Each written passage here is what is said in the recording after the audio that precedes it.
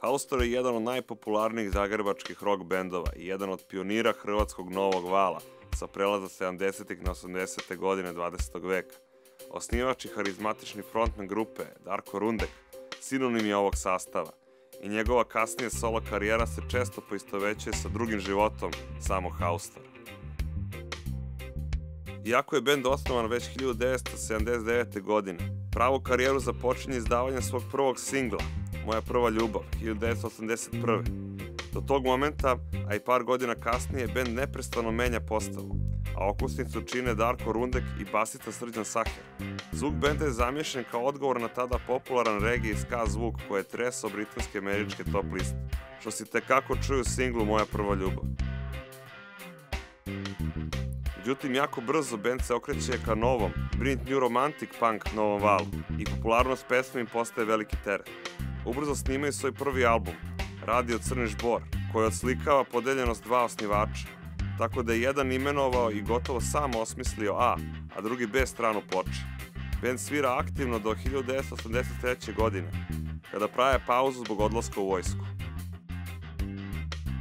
Po povratku iz vojske band snima ploču u Treći svijet i nastupa u postavi Rundek, Prica, Zajec, Zaher i Gulić. Podela posla između Rundeka i Sahera se svela na jako praktično. Rundek tekstovi, Saher muzika. Kao što često biva, band nije izdržao dva jaka lidera i posle niza kreativnih nesuglasica Saher odlazi iz benda i osniva grupu Vještaci. Nakon toga Rudek ostaje pravi lider i vođa i pod takvim novim vođstvom Haustor snima svoj treći studijski album, Bolero. Kako su klice nastanja albuma Bolero bile u vremenu dvovlašća grupe, prvi pravi, nažalost i poslednji album koji u potpunosti autorsko delo Darka Rundeka je Tajni grad, izdat 1988. godine.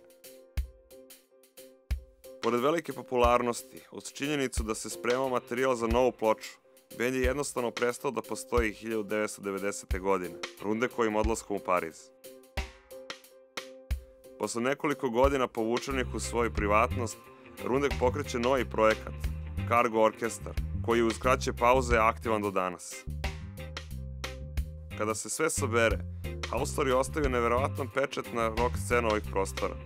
Pesme poput Šalo Cvile, Ena, Treći svijet i Shane, kao i mnoge druge, postale su i ostale zaštitni znak generacije rođene 60-ih, a lako su našli put do novijih generacija njihovih potomaka.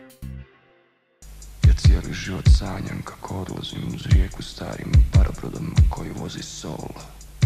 I da nosim jednu davnu, nikad prežaljenu ljubav, tanku dugačku cigaru i par mamuza od zlata da sam Shane.